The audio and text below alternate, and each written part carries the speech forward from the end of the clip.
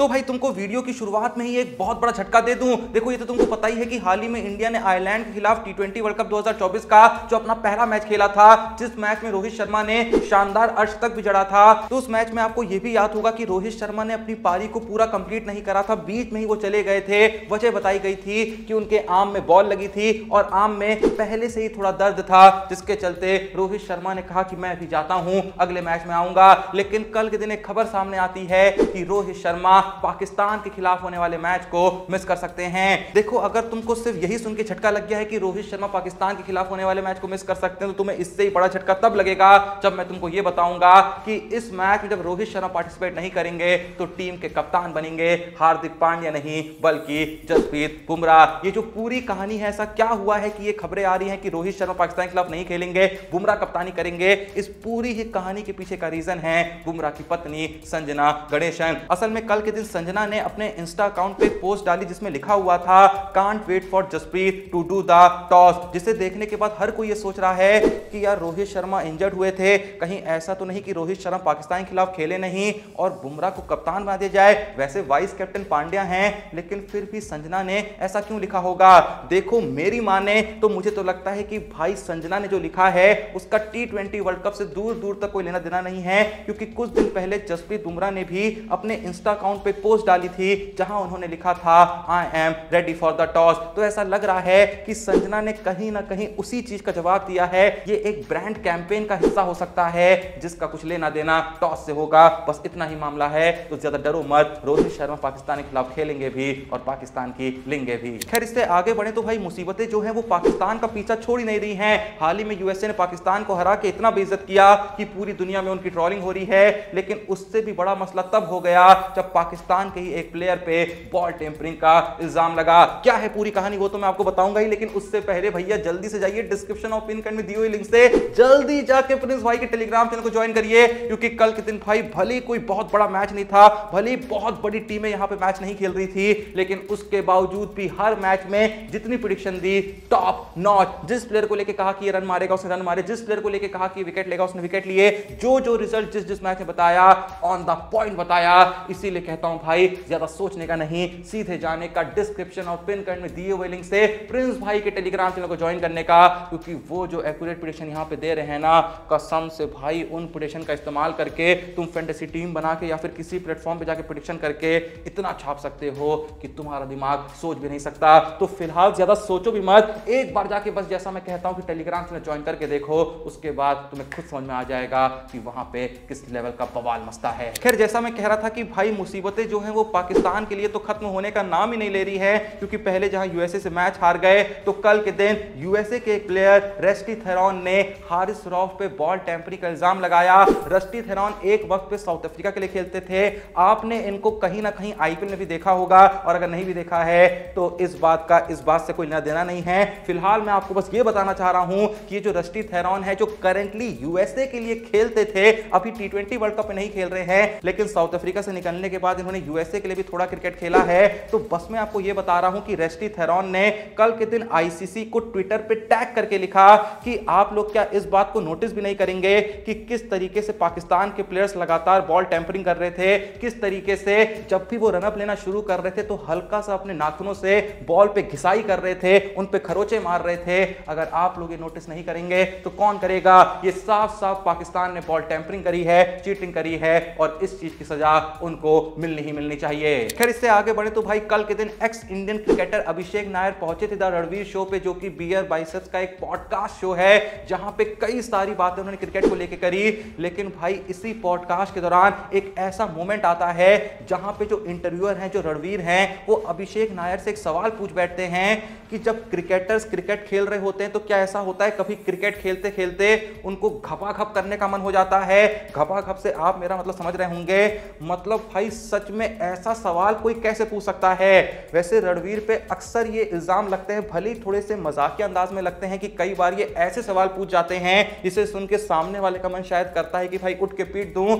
लेकिन भाई ये कैसा सवाल था? हालाँकि उन्होंने इस सवाल को और भी अलग कॉन्टेक्स्ट में पूछा था कि इन लोगों की घपाघप वाली जो लाइफ होती है वो कैसी होती है? क्या ये लोग खेलते खेलते ये सब भी करते रहते हैं बीच सीरीज़ में? मतलब भाई ये ऐसा सवाल था कि तुमको ये क्लिप देखनी देखनी चाहिए, मैं यहाँ पे डिस्क्राइब डिस्क्राइब नहीं कर पाऊँगा पूरी बातें, क्योंकि अगर मैं शब्द बोल के यहाँ पे डिस्क्राइब करूँगा तो शायद मेरी ये वीडियो ही उड़ जाएगी। हाँ सच में भाई, ऐसी ही बातें हुई हैं तो टाइम मत वेस्ट करो, जल्दी से जाओ। वो पूरी वीडियो तुमको मिलेगी हमारे टेलीग्राम चैनल क्रिकबाजी पे, जो कि मैं पहले ही बता चुका हूँ। वो है क्रिकेट की दुनिया का सबसे बकचोद टेलीग्राम चैनल जल्दी जाओ लिंक मिलेगा डिस्क्रिप्शन में। ज्वाइन करो। ये वीडियो टॉप पे पिन करके रखी है, मात्र एक से डेढ़ मिनट की है।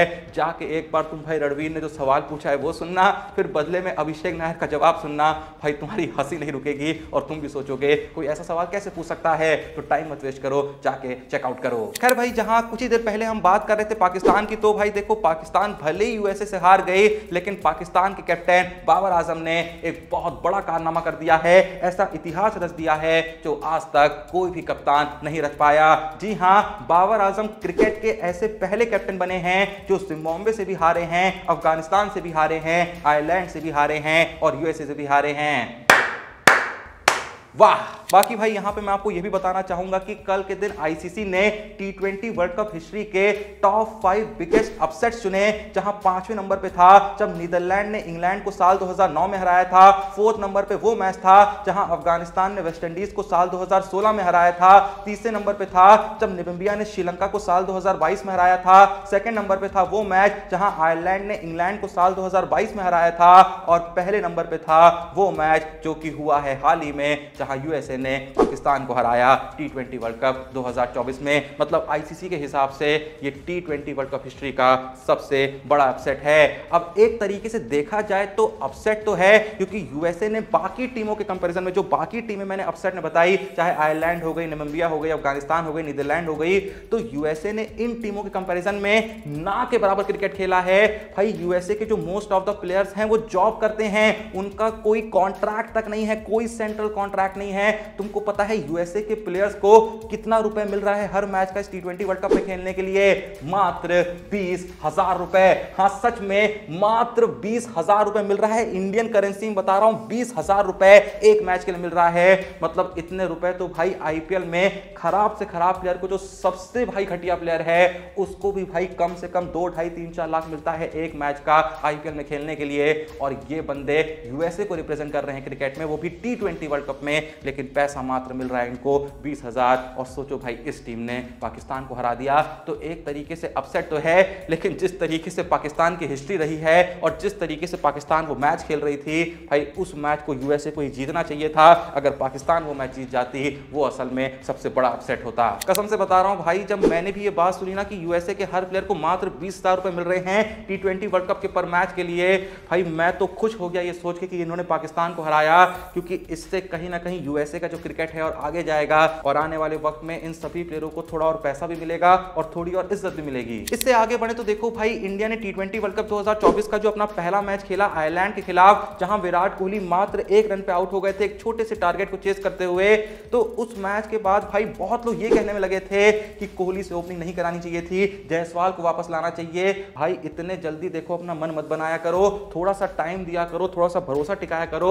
वो विराट कोहली है यार, वो चलेगा वो ऐसे ऐसे मैचेस में ऐसी ऐसी परफॉर्मेंस देगा, जहाँ पे भाई पूरी टीम घुटने टेक देगी। मैं चाहता नहीं हूँ कि पूरी टीम घुटने टेके, लेकिन विराट कोहली भाई हर वर्ल्ड कप की तरह इस वर्ल्ड कप में भी एक अच्छा खासा ऐसा कंट्रीब्यूशन देगा, जो टीम की जीत के काम आएगा। और यहाँ पे मैं तुमको यह भी बताना चाहूँगा कि विराट कोहली जब उस मैच में एक रन पे आउट हुए थे ना तो वो टी वर्ल्ड कप के इतिहास में ऐसा पहली बार हो रहा था कि विराट कोहली किसी टारगेट को चेस करते हुए सिंगल डिजिट स्कोर पे आउट हुए थे। वरना उससे पहले जब भी Virat Kohli T twenty world cup में चेस करने के लिए उतरे हैं, पता है क्या बवाल मचा है? साल 2012 में जब पहली बार पाकिस्तान के खिलाफ वो चेस करने उतरे तो कोहली ने मारे इकसठ बॉल पे, अठहत्तर नॉट आउट उसके बाद साल 2014 में पाकिस्तान के खिलाफ जब फिर से चेस करने उतरे तो मारे बत्तीस बॉल पे, छत्तीस नॉट आउट फिर साल 2014 के वर्ल्ड कप में वेस्ट इंडीज के खिलाफ चेस करते हुए मारे, इकतालीस बॉल पे चौवन रन. फिर साल 2014 में बांग्लादेश के खिलाफ मारे 50 बॉल पे सत्तावन नॉट आउट फिर साल 2014 में साउथ अफ्रीका के खिलाफ सेमीफाइनल में मारे चेस करते हुए 44 बॉल पे बहत्तर नॉट आउट साल 2016 में न्यूजीलैंड के खिलाफ चेस करते हुए मारे 27 बॉल पे 23 रन।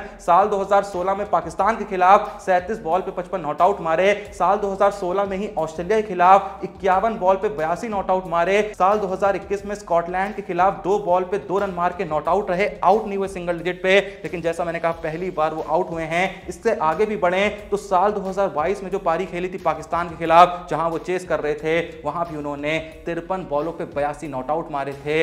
इसीलिए भाई, ये पहली बार हुआ है, सोचो, आज तक इतने T twenty world cup Kohli ने खेले हैं। पहली बार हुआ है कि बंदा चेस करते हुए सिंगल डिजिट स्कोर में आउट हुआ है। और तुम भाई, कोहली पे सवाल उठा रहे हो, ओपनिंग करने दो, इसलिए भी करने दो कि भाई, कोहली और रोहित को शायद तुम आखिरी बार ओपनिंग करते हुए देख रहे होगे। तो इस मोमेंट को एंजॉय करो, जो होगा, बढ़िया होगा। वैसे क्या आप में से भी कोई ऐसा है जिसको लगता है कि यार, रोहित और कोहली की जगह रोहित और जायसवाल को ओपनिंग करनी चाहिए। कोहली आके थोड़ा सा टीम का सामंजस्य बिगाड़ रहे हैं। जो भी आपका ओपिनियन है इस बारे में, अपना ऑनेस्ट ओपिनियन कमेंट सेक्शन में ज़रूर छोड़िएगा। और एक बार जाके वो वीडियो ज़रूर देखिएगा। जिस वीडियो का ज़िक्र मैंने वीडियो के बीच में करा था, जहाँ मैंने आपको बताया कि द रणवीर शो पे किस तरीके से रणवीर ने ऐसा अजीब सा घपा घप के बारे में सवाल पूछा। मतलब भाई, बंदा डायरेक्टली पूछता है कि क्रिकेट खेलते खेलते इन लोग को ये भी मन करता है कि थोड़ा सा घपा घप हो जाता तो और मज़ा आ जाता। मतलब दोनों का रिलेशन यहाँ पे पूछा है। बस एक डेढ़ मिनट की वीडियो है, जाके वीडियो देखो, टॉप पे पिन करके रखिए स्पेशली तुम्हारे लिए टॉप पे पिन मैसेज पे क्लिक करना, वो पूरी वीडियो देखने को मिलेगी और उस वीडियो पे जो तुम्हारा रिएक्शन है कमेंट सेक्शन में आके ज़रूर बताना। बाकी भाई ज्वाइन भी कर लो टेलीग्राम चैनल को, जहाँ क्रिकेट वर्ल्ड की एकदम टॉप की updates top memes rare clips rare video सब कुछ सबसे पहले आपके पास आती हैं, जो इस टेलीग्राम चैनल को बनाती हैं क्रिकेट की दुनिया का सबसे बकचोर टेलीग्राम चैनल तो जल्दी जाओ टाइम मत वेस्ट करो ज्वाइन करो और उसके अलावा क्या करना है? भाई, तुमको पता है, बिना टाइम वेस्ट करे डिस्क्रिप्शन ऑफ़ पिन में दियो लिंक से प्रिंस भाई के टेलीग्राम चैनल को ज्वाइन करना है। क्योंकि भाई क्रिकबाजी का टेलीग्राम चैनल तुमको मज़े करा सकता है, लेकिन भाई जो पैसों से मज़ा होता है, वो मज़ा तुम्हें मिलेगा। प्रिंस भाई के टेलीग्राम चैनल पे जो तुम तक पहुंचाएँगे एकदम एक्यूरेट प्रिडिक्शन सबसे पहले हर मैच की परफेक्ट प्रिडिक्शन बस उन प्रिडिक्शन को उठाओ, मस्त फैंटेसी टीम बनाओ और उन प्रिडिक्शन के बेसिस पे मस्त भाई पैसा ही पैसा कमाओ। बाकी वीडियो पसंद आई लाइक कर दो चैनल को सब्सक्राइब कर दो। मिलते हैं नेक्स्ट वीडियो में। तब तक के लिए जय हिंद, धन्यवाद।